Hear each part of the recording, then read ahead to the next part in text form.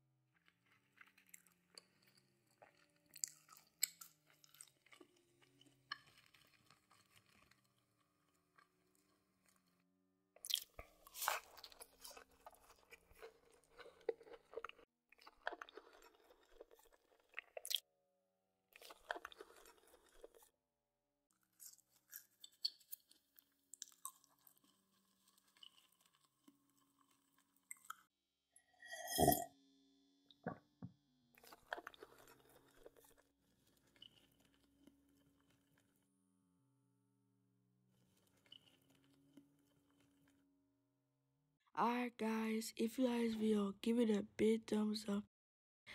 Don't forget to like and subscribe. I'll see you next video. Bye.